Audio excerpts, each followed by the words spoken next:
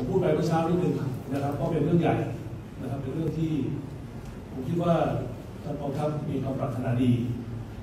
มีการพูดคุยตั้งแต่วันแรกที่ผมเข้าสู่ตำแหน่งนายกรัฐมนตรีว่ามีการพูดคุยขอร้องว่าอยากให้ช่วยดูเรื่องอะไรบ้างหนึ่งในเรื่องที่ผมขอร้องคือเรื่องนี้เราใช้เวลาไม่ถึงสองเดือน ก็สามารถเขียนว่าอยากเป็นรูปธรรมได้โดยการร่วมมือระหว่างภาคการเมือง กับทางด้านกองทัพเพื่อผลประโยชน์สูงสุดของพี่น้องประชาชน นะครับเรียนผมเรียนผมอยากให้กองทัพมีส่วนร่วมพัฒนาประเทศสร้างความมั่นคงทางเศรษฐกิจปากท้องของประชาชน ร่วมแก้ไขปัญหาสังคม ที่ต้นเหตุที่ต้นเหตุนะครับ คือความยากจน แก้ไขปัญหาที่ดินทำกิน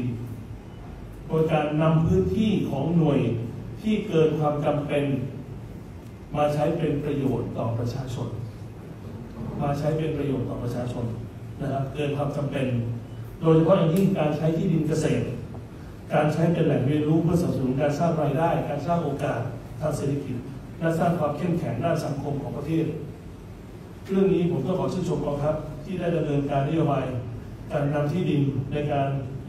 ภายใต้การดูแลของกองทัพให้ประชาชนใช้ประโยชน์เป็นรูปธรรมผ่านโครงการหนองบัวซอโมเดล ซึ่งมีพื้นที่รวมใช้เวลามาณแค่เดือนครึ่งนะครับ เกือบหมื่นไร่ 9,276 ไร่ โดยกำหนดส่งมอบถึงมือประชาชนวันที่ 25 ธันวาคมสิ้นปีนี้ ถือว่าเป็นของขวัญปีใหม่ที่ล้ำค่าต่อพี่น้องประชาชนจากกองทัพไทย